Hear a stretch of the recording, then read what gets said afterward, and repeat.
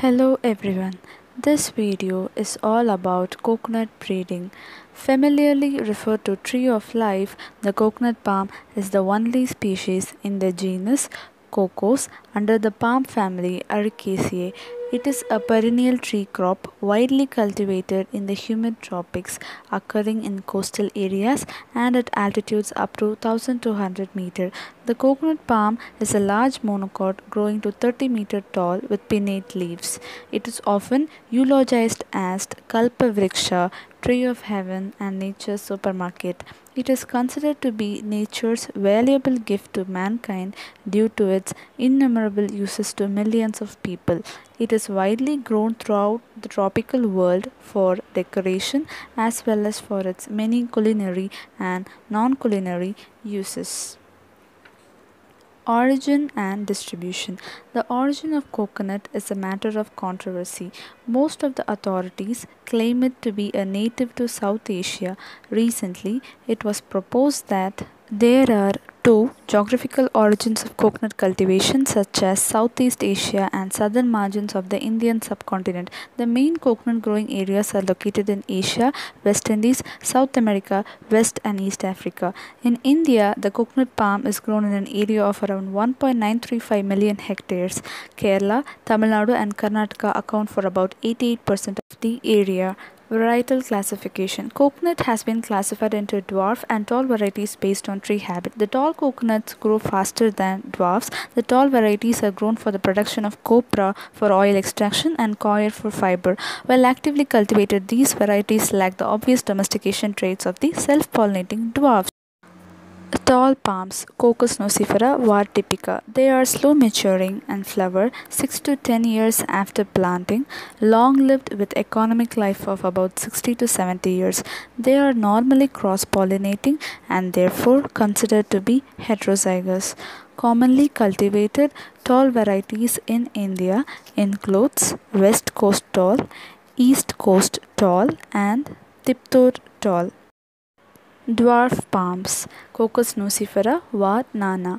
They begin bearing about the third year at less than 1 meter height. They have a short productive life of 30 to 40 years. They are normally self-pollinating and therefore considered to be homozygous. Common dwarfs available in, in India are Chowghat orange dwarf, Chowghat green dwarf, Kenthali and Gangabonda. Next, we'll look into the floral biology of coconut. Coconut is a monoecious plant whose inflorescence length is about 1 to 2 meter of central axis and about 40 lateral branches called spikelets. Each spikelet bear 200 to 300 male flowers at the top and 1 or 2 female flowers at the base. Due to the fact that maturation of inflorescence is a progressive process, pollen discharge and anthesis is continued for about 18 to 20 days. Generally, dwarf palms are considered as autogamous and tall palms as allogamous, but hybrids exhibit both types of pollination. Bees are major pollinating agent followed by wind. Breeding methods of coconut. The first one is introduction. The different cultivars of coconut from Ceylon, Indochina, New Guinea, Java, Indonesia, Thailand, Philippines were introduced in India by Madras Agricultural Department. Important introduced varieties include Laccadive Ordinary, Laccadive Micro, Cochin Chines and West Coast Tall. The second method is selection. Mass selection can be used as effective methods in coconut improvement. The success of this method depends on the ability of breeder and heritability of traits under consideration. Coconut palm are being selected based on yield, age of plant, nature and disposition of leaves, size and shape of nut. The third method is hybridization. The process of identifying male transmitters can be speeded up by the use of dwarf palm as female since they are largely self-pollinated and are reasonably homogeneous. Attempted cross combinations in coconut are dwarf into dwarf, tall into dwarf, dwarf into tall and tall into tall. The crosses between dwarf and into dwarf have not given satisfactory results with respect to yield potential traits.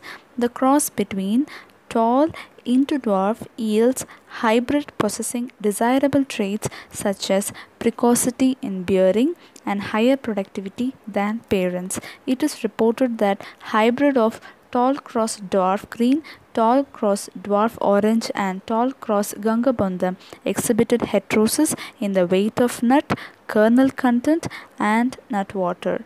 After comparative trials, it was found that COD and Gangabondam are desirable pollen parents and WCT that is West Coast tall and yellow are desirable female parents.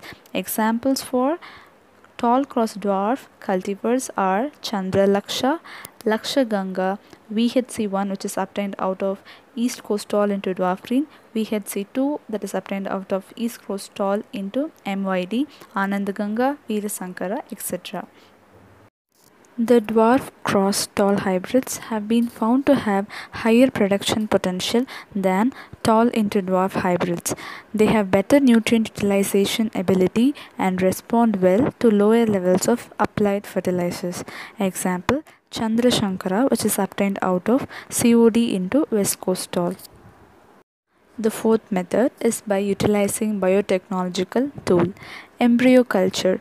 Being an important tool for safe germplasm exchange, it is useful for producing plantlets from special coconut types such as Mohacha naral, Thairu Tengai, where the endosperm is soft and jelly-like and doesn't germinate under normal conditions.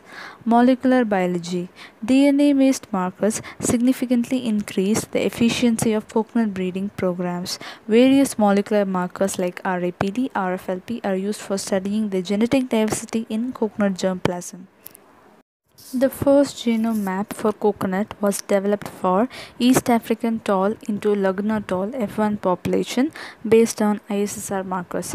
382 markers have been placed in the map resulting in 16 linkage groups leading to the identification of 6 QTLs for early germination. Genetic correlation have been established between early germination and early flowering, early germination and high yield. Generation of new mapping populations including coconut root wilt phytoplasma resistant material is being focused in India.